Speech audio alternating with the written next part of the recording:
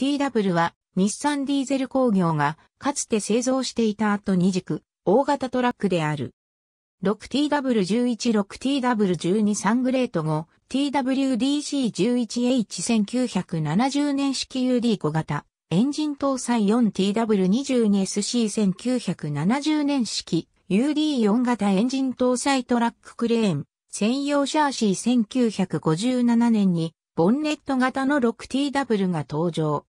5二軸型で10.5トン積みは当時日本国内では最大級であった。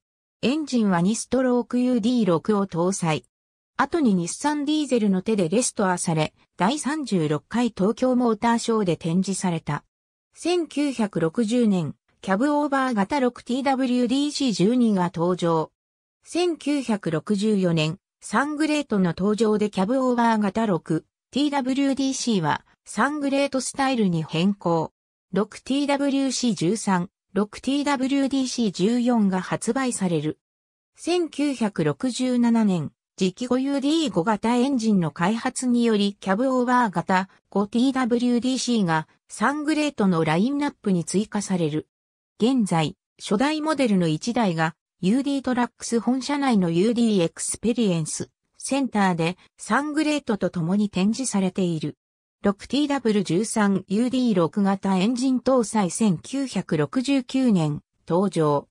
ボンネット型は1957年以来、通称、剣道の面型基本デザインを踏襲し続けた 6TW12 の製造を打ち切り、ボンネットのデザインを一新した 6TW13 に移行。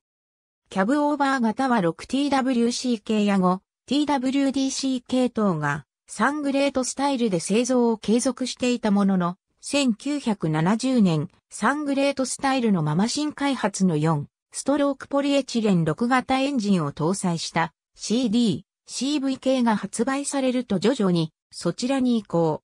1971年 CD、CV 系のままデザインを一新したニューキャブシリーズに移行し発展的解消を遂げた。1972年登場 TW50 となる。エンジンは V 型8気筒の RD8 を搭載。1981年昭和54年排出ガス、規制適合。TW53 となる。1984年製造終了。日本の民生用ボンネットトラックとしては最後まで製造されていた車種であった。ありがとうございます。